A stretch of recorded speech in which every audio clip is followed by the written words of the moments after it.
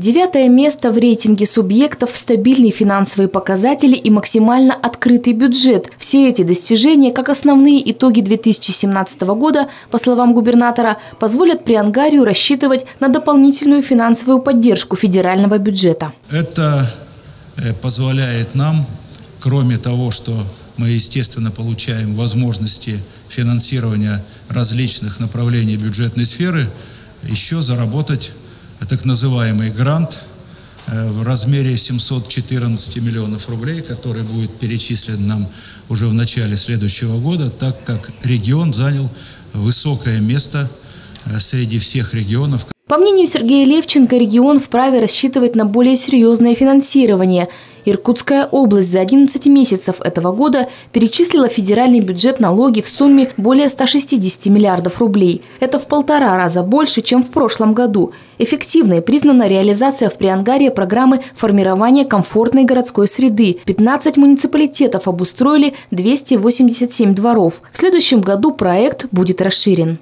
Эта программа оценена на федеральном уровне как успешная. И на следующий год мы запланировали э, увеличение, и федерация запланирована, и э, областной уровень э, запланирован увеличение. Я думаю, что это будет 650 миллионов рублей. Те, которые запланированы из федерального бюджета, они с нашей добавкой практически в полтора раза увеличивают наши возможности по этой программе.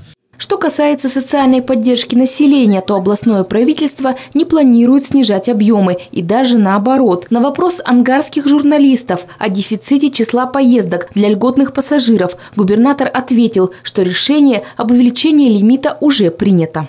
Я дал задание правительству, чтобы посчитали все наши возможности, ресурсы, чтобы с 1 апреля следующего года увеличить количество регламентируемых поездок с 30 до 50. Это тогда, когда вот начинаются перевозки там и так далее.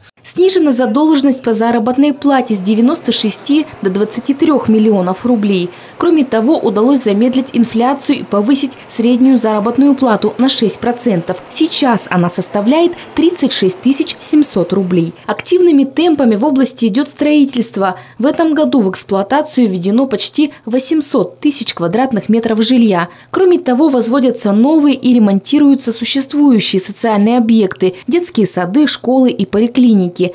Показатели внушительные, а динамика положительная, подытожил встречу губернатор.